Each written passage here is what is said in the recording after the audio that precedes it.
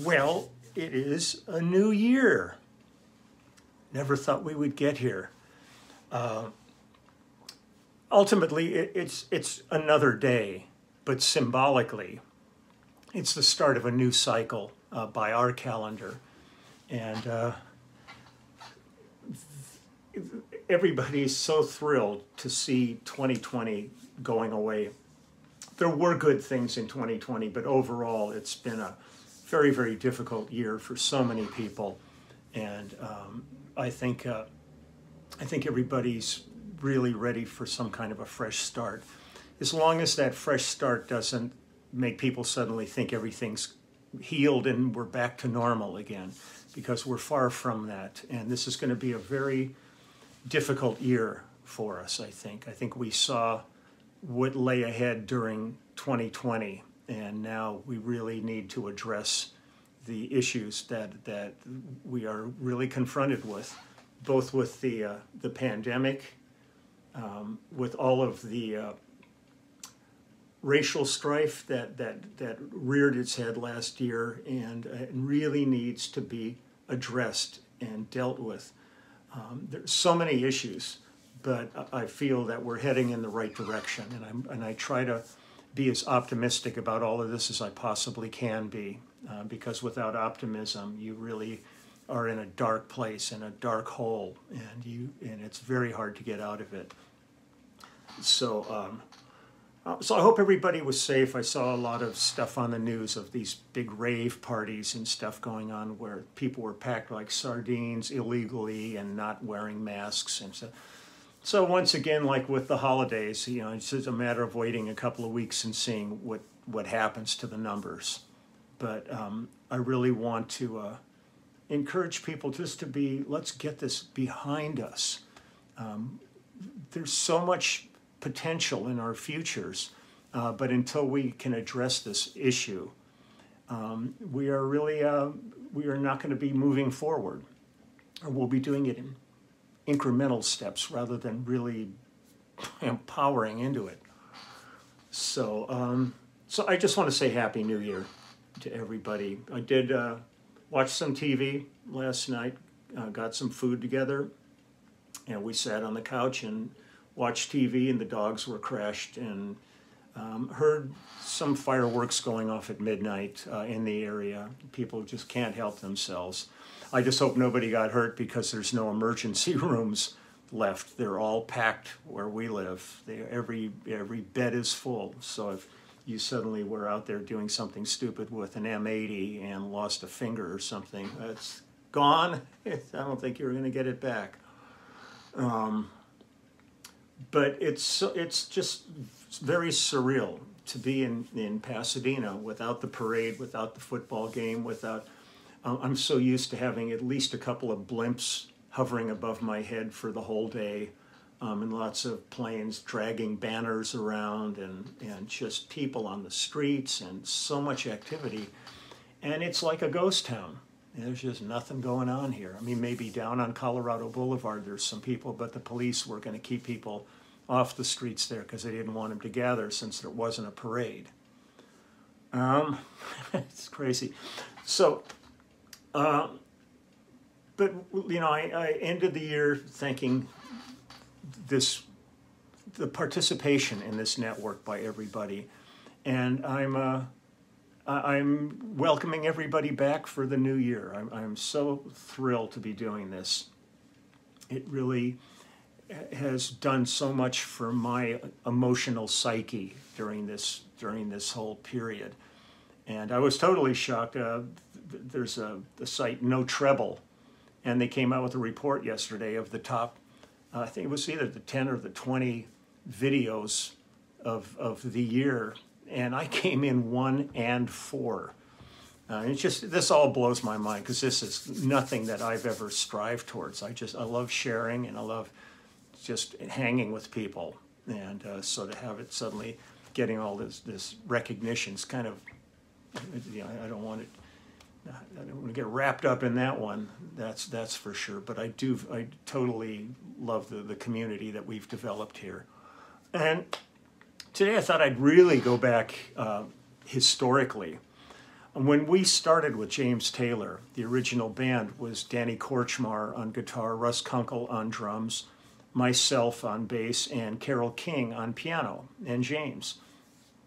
And we encouraged uh, Carole to step out from behind, you know, the, the side man, side gal position and do some of her music because people, you know, they suddenly saw this young girl on stage. They hadn't really no idea who she was, but if you look through their record collections, they probably had a ton of Goffin and King records of that, that they, they had penned the music for, for all kinds of groups during that period, the Ronettes, the Shirelles, I mean, everybody was doing um, Goffin King songs.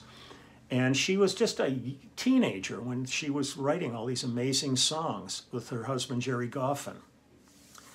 So it got to the point where um, she, we encouraged her enough where she went, got together with Lou Adler at, at Ode Records and uh, went in and cut an album. Ends up cutting Tapestry. So, needless to say, all of a sudden we have a side person in the band that's got like one of the biggest records in the world. So she had to move on and pursue her career.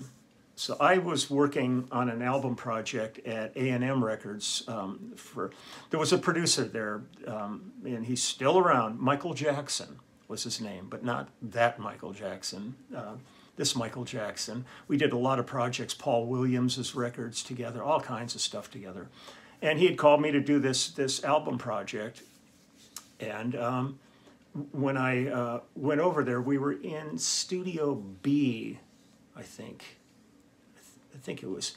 It's either B. Uh, you know, you, you, always forget with these studios. It's like either one, two, three. I think it was Studio B. It's either numbers or letters for them, and um, it was. Uh, this young artists in there. It was uh, Tom Jans and Mimi Fariña. Now, Mimi Fariña is uh, was Joan Baez's younger sister.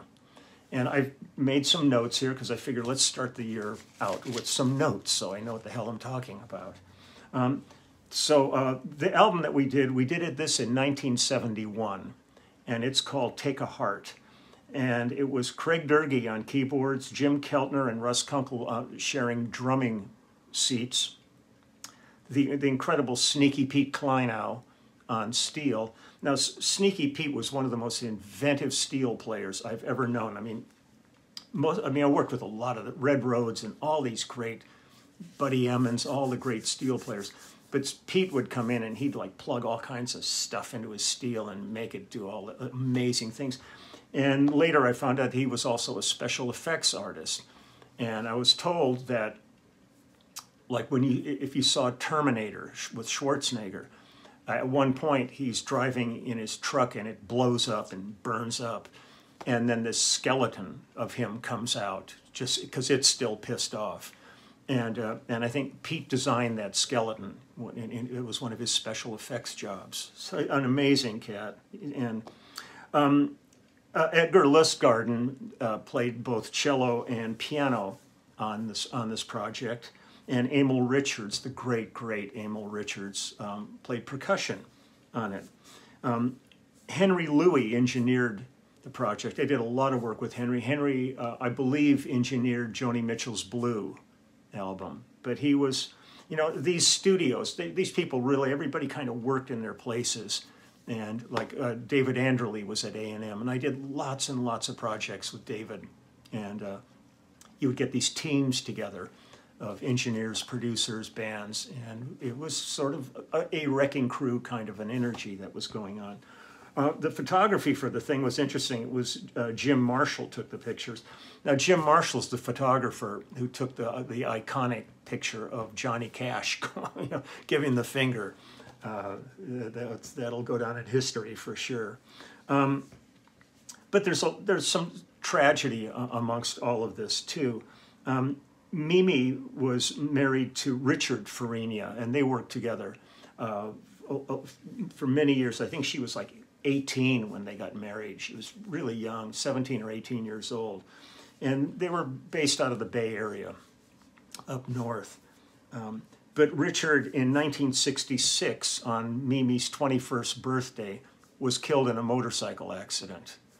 Uh, it was truly tragic, and he was really a fine artist, songwriter, and that was a terrible loss.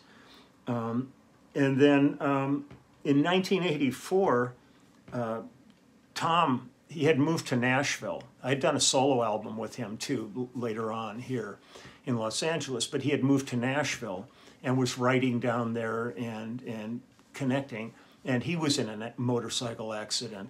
Um, he survived the accident, but I think it really led him down a, a, really difficult path. And in 1984, he was just 36 years old, and he, he died, I think, of an overdose at that point, which is really heartbreaking.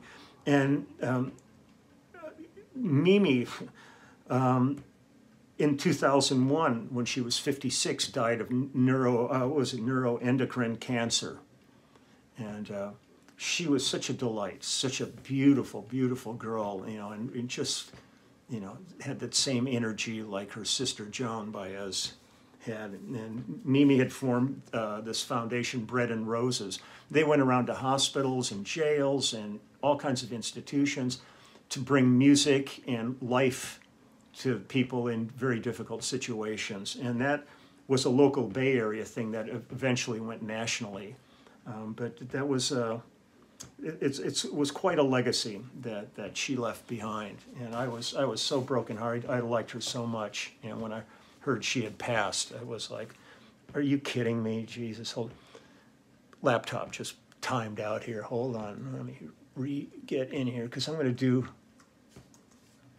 song from from uh, that album. And the thing that was interesting on that album was, and it, it, it goes back to the start of this story, was Carole had to move on, Carole King, because of Tapestry. And when we did this album, um, that was the first time I ever played with Craig Doerge. And uh, I immediately, after the session, uh, we, we hung out and talked and stuff. And I got his information to Peter Asher. And, and Craig ended up replacing Carole uh, in James Taylor's band. And then out of that, the group The Section formed with Russ and Kootch and myself and Craig. Um, so he kind of completed the picture for us. And, uh, and Craig's still out here. He lives 10 minutes from me and uh, still making music, and he's still a gifted writer. Um, but one of the better keyboard players I've ever worked with. Um, he's really, really quite a special man. Um, so I, am going to try see if I can remember this one. This is called Kings and Queens, and this is uh, Mimi Fariña and Tom Jans from 1971. So I definitely uh, hitting the Wayback Machine. Um, on this one, I probably Frankenstein wouldn't have existed yet. Um, so this was probably my old 62 jazz bass that I carved into the Peace Love bass where I cut the horn off and did all that stuff. And I've used it on other things. And that's was the bass that I used on um, the early James Taylor stuff, the um, Billy Cobham Spectrum. That was the bass I played on that. Um, it's the bass I played on Doctor My Eyes. And because uh, we built this bass around 1973, 4, right in that period.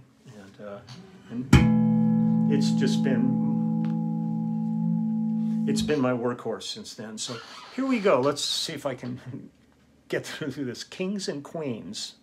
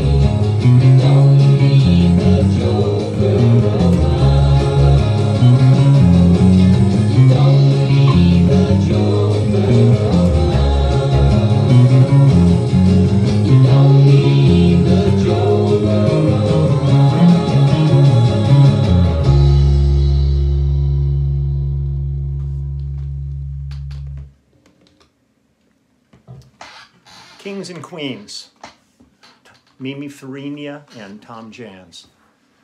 Um, so I'm going to wish everybody just an excellent start to the new year. Be safe, be smart. Um, there's a bunch of people that had no opportunity to celebrate with their family or friends last night, and that's all the caregivers that are working in the hospitals, the doctors, the nurses, the staff that are keeping the hospitals cleaned and um, disinfecting like there's no tomorrow. I mean, there's so many different jobs like this, but man, they are working like I've never seen people work before. It's the stress level is quite staggering that they're going through. Uh, man, my heart is with them. They are truly heroic people. So. I am going to, uh, I've got to make a couple of phone calls, and uh, today I picked up all the stuff I needed from the post office, and today I'm going to begin filling all of the overseas book orders and get those off to the people. They've been waiting long enough for this. It's just as with the, the hassles at the post office and all this stuff, I just decided I had to hold off on this, just do this in one big fell swoop because I've got to put adhesive packets on all the boxes with three pages of customs paperwork and all of this. But it's interesting. I've got books going from Rio to Tasmania to Finland to the Middle East. So it's pretty, it's a trip. You know, it's a, really really an adventure. So I'm going to be doing that through the weekend and finishing up some other projects. But I'll be back tomorrow, um, off and running here. And I just uh, really want to wish everybody the very best for this year. Let's let's make this a positive year, and we're going to go through rough times to get there. But let's let's come out of this year far better than we came into this year, please. So we can't deal with much more of that. So, love you all. You just take good care, and I will see you tomorrow. So take care. Bye bye.